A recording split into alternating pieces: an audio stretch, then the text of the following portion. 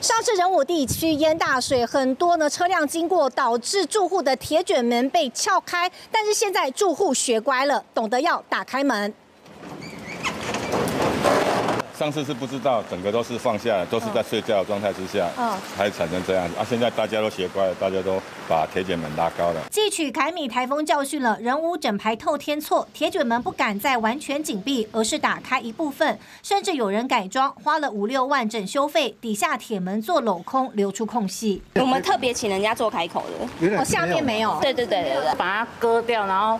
整个把它弄平之后，哦，哎，对，所以变这样啊，变这样。我们后来隔几天又请人来做这个补墙，这个是补墙的。对，旁边在加厚，甚至还看得到切割维修的痕迹。因为上次凯米台风，马路淹水，又有车辆经过，溅起的水浪把铁卷门冲到变形。就因为当时铁卷门完全关上，水波撞击扭曲变形，门面越大片的铁卷门越有几率被真空效应吸附，造成脱轨故障。点八牛顿定律，它这个中间都会比较比较，你越大的门，中间一定会比较能。比较没有那个力量可以支撑，那你两边轨道一定会有空间嘛？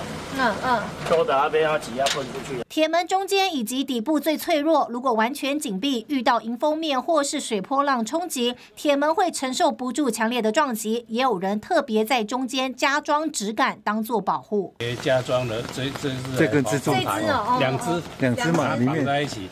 也就是说，台风来，铁卷门别关上，避免受风面或是水波浪的冲击。至于担心门开开会淹水，最好是像这户人家以及银行外额外再加装水闸门，保护 ATM 机台泡水，双重保护。TVBS 新闻李赞生、宋佩文高雄报道。